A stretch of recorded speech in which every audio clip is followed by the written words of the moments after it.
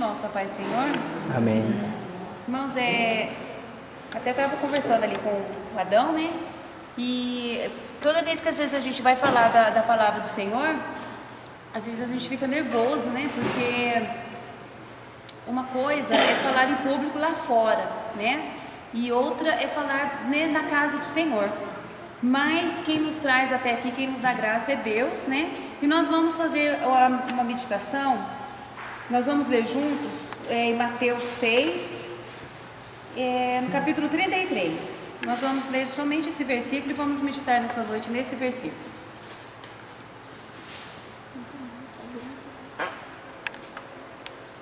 Mas buscai primeiro o reino de Deus e a sua justiça, e todas estas coisas vos serão acrescentadas. Nessa passagem aqui, Jesus está falando, né, sobre a questão da ansiedade com que muitas das vezes a gente se depara no nosso dia a dia. E nos versículos anteriores que eu não li, está falando assim para a gente não andar inquieto, dizendo o que que nós vamos comer, ou o que que nós vamos beber, ou o que que nós vamos vestir. Aí depois chega no versículo 33, ele fala assim: "Mas buscai primeiro o reino de Deus e a sua justiça, e tudo isso vos será acrescentado." Nesta noite, né, nós estamos finalizando o dia de hoje, né? E estar aqui na casa do Senhor, é, irmãos, é uma bênção, porque é um privilégio para poucos, até mesmo por conta do horário. Não é qualquer pessoa que consegue estar aqui. Então, se o Senhor é, trouxe você até aqui e permitiu que você viesse aqui nesta noite, é porque Ele tem uma palavra especial para você. Não porque eu que estou aqui, misericórdia, mas é porque o Senhor Jesus, Ele jamais traz a gente na casa dele e nos leva para casa né, sem nada. E aqui eu quero falar com vocês sobre a questão da prioridade. E eu quero fazer uma pergunta, né? O que, que é prioridade para você nesta noite? Primeiro, o que, que significa prioridade? Né? Prioridade é aquilo que vem em primeiro lugar na nossa vida. É aquilo que é mais importante. A prioridade ela tem uma, uma ordem de importância em relação ao tempo, em relação à própria ordem e até à dignidade. Então, quando eu falo assim, nossa, é, a minha prioridade, André, é Deus. Se ele não é a sua prioridade, ele deveria ser, não é? Porque Deus ele tem que estar em primeiro lugar na nossa vida. A prioridade. O que, que vem em primeiro lugar na nossa vida? Como que a gente vai saber disso? Que, ah, eu não sei o que, que é prioridade para mim. E uma forma facinha de você saber o que, que é prioridade para você é você ver a forma como você gasta o seu tempo. Às vezes a gente acha que a prioridade nossa é algo. E às vezes a gente até fala. No começo de ano, geralmente algumas pessoas fazem algumas listas e colocam assim: prioridades. O que, que eu vou melhorar esse ano? O que, que é prioridade para mim em 2017? E às vezes colocam lá Deus, família, casamento, estudo, trabalho, amizade, casa e, e vai elencando assim as prioridades. E aí, aí depois a gente pensa assim, mas se a minha prioridade é Deus, é, o que, que eu tenho feito então para que essa minha prioridade realmente esteja sendo uma prioridade na minha vida? Deus, meus irmãos, ele, ele quer, Ele deseja com cada um de nós um relacionamento assim de verdade. Porque às vezes a gente pensa em Deus como algo que está tão longe da gente, mas Deus, Ele quer relacionamento. E para a gente ter um relacionamento com alguém, a primeira coisa que a gente precisa ter é tempo. Não tem como eu falar assim, olha, eu tenho um relacionamento muito legal com tal pessoa, mas eu nem vejo essa pessoa, sabe? A gente se vê uma vez por mês, uma vez por ano.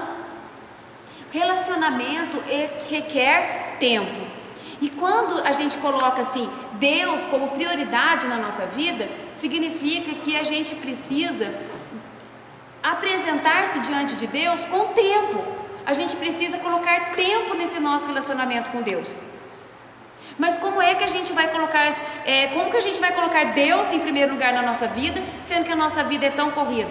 Ora, se Deus é uma prioridade, então você consegue encaixar Deus aí em algum momento do seu dia. Quando a gente está com uma vontade fisiológica, por exemplo, uma, uma, uma sede, quando a gente está com vontade de ir ao banheiro, a gente não faz tudo para que a gente rapidinho resolva isso? Da mesma forma também se, deveríamos ser para com Deus. Deus ele tem que ser a nossa prioridade. Buscai primeiro o reino de Deus.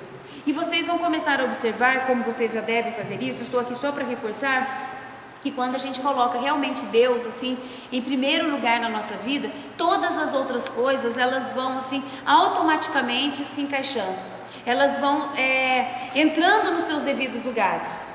E nada nesse mundo tem graça se Deus não estiver presente.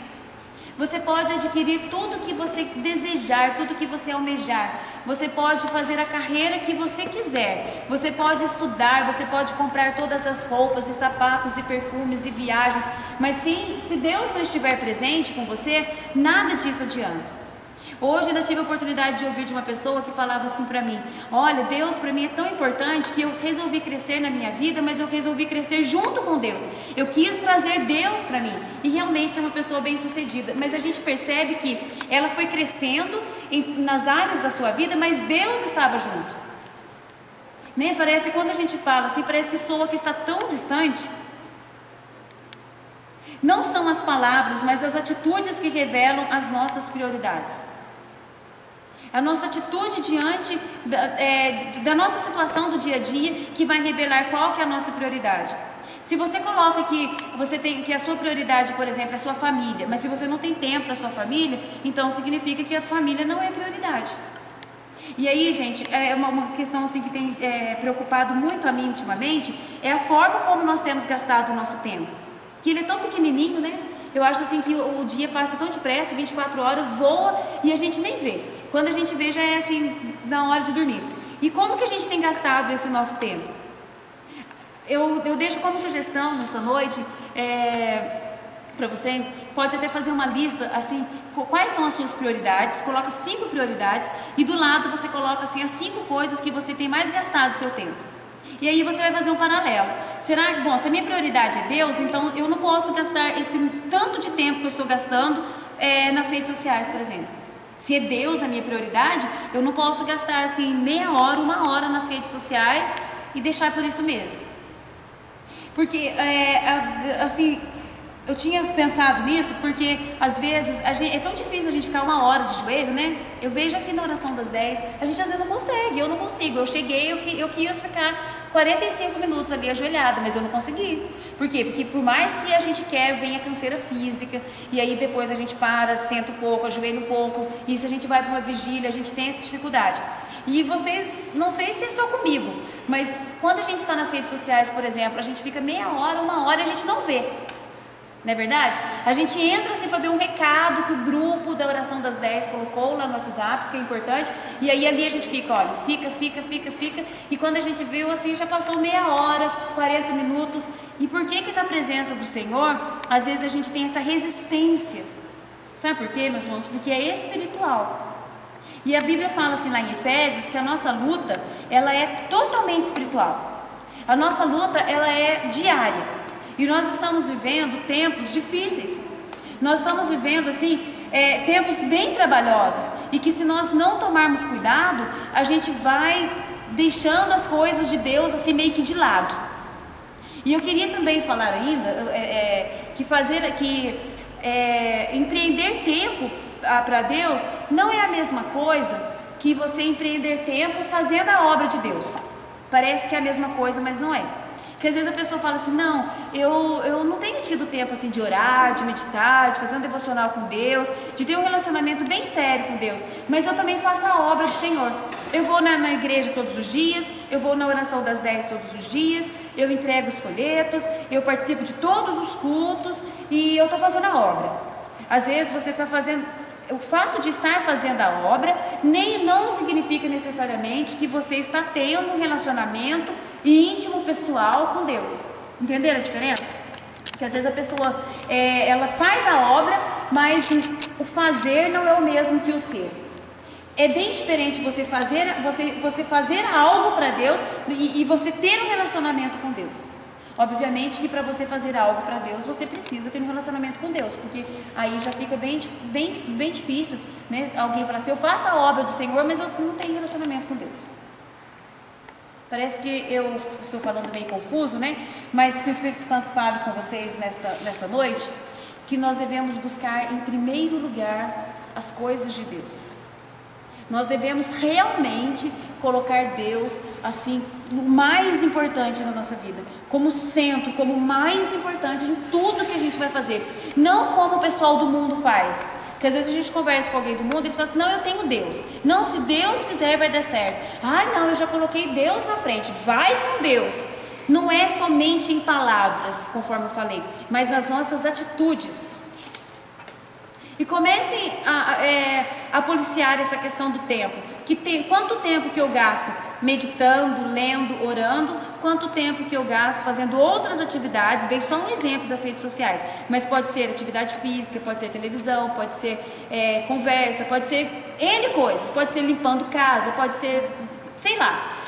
Quanto tempo que eu gasto fazendo essas atividades que eu poderia envolver com Deus? Porque nós só vamos ter relacionamento com Deus se nós empreendermos tempo. Tá? Eu quero é, fazer uma oração com os irmãos para a gente concluir essa palavra e que o Senhor Jesus nos ajude a, a colocar o Senhor mesmo em primeiro lugar na nossa vida. Porque se nós não fizermos isso, nós não vamos vencer as lutas diárias. Talvez assim, até eu queria uma palavra assim é, mais gostosa, uma palavra assim mais, mais, sabe, de, mas eu vejo assim essa palavra como uma exortação para nós, né? É, vamos orar? Vamos lá, Senhor Jesus, nesta noite eu te agradeço por essa oportunidade. Eu te agradeço, meu Deus, porque o Senhor permitiu que nós estivéssemos aqui na tua casa nesta noite. Todos nós sabemos, meu Deus, das nossas lutas. Todos nós, Senhor Jesus, temos problemas. Todos nós temos nossos medos, nossas angústias. Senhor Jesus, mas o Senhor Jesus nos trouxe aqui nesta noite porque o Senhor tem algo especial para nós. Senhor, a tua palavra diz para nós buscarmos ao Senhor em primeiro lugar, colocarmos as coisas de Deus como mais importantes na nossa vida. Que o Senhor Jesus nos ajude. Senhor Jesus, que o Senhor Jesus nos dê, Senhor, estratégias para vencer, Senhor Jesus, as, as astutas ciladas do inimigo que muitas das vezes vem para nos distrair. Senhor Jesus, que o Senhor possa, meu Deus, nos dar a direção necessária. Senhor Jesus, que o Senhor esteja, Senhor, como o mais importante da nossa vida, muito mais importante que a família, muito mais importante que o trabalho, muito mais importante que o ministério, muito mais importante que tudo é o Senhor, como centro da nossa, das nossas vontades. Senhor, assim eu te peço, Senhor, assim eu te agradeço nesta noite. Amém. Irmãos, essa é a palavra que o Senhor colocou no meu coração, né? Buscar a Deus mesmo em primeiro lugar e que a gente possa assim ser crente assim bem de verdade, né? É difícil, né, irmãos? Ou é só eu que sinto essa dificuldade? É difícil, sim. Né? É bem difícil. Mas é, a gente está aprendendo na revistinha, né, que fala assim que é fruto do Espírito. Existem coisas que a gente não precisa forçar. Se a gente estiver com Deus, vai sair naturalmente. Né? Então, vamos nos colocar mais na presença do Senhor. Amém. Eu agradeço a oportunidade.